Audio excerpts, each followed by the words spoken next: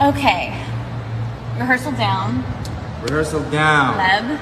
Yep. Lichkin.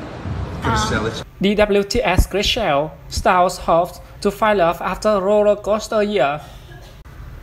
Dancing with the Stars fans may not know much about the actress and real estate agent, the Ciara Star, but everyone knows about her very public divorce from This Is US star Justin Hartley. Now, after this roller coaster year, she is ready to find love. What does Chrishell Stause want? Recently, an insider who is in the know says that Chrishell is ready to find love again. An internal optimist and romantic, the WTS competitor hopes to find someone to spend her life with. This insider admitted to US magazine that the Selling Sunset star was not sideways for the while by both of these setbacks, but this informed person shared that the Abyss star is looking ahead. They shared that Chrishell is looking forward to finding love again someday.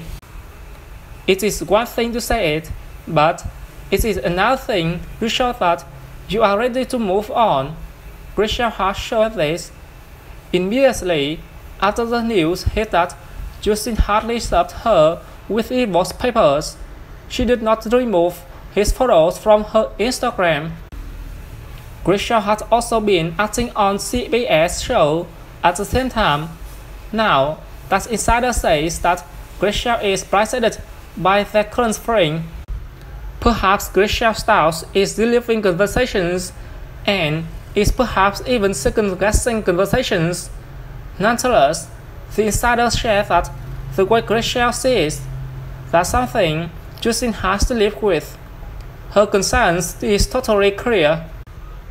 Now, after her rather public Hollywood divorce, Chrishell Stause has to navigate dating. She has already shared that a few gentlemen have slid into her DMs. Will she start dating again soon?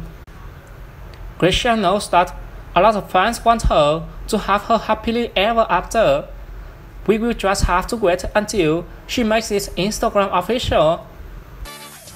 Hi, my name is Chrishell Stause, and you might know me from my soap opera days, All My Children, Days of Our Lives.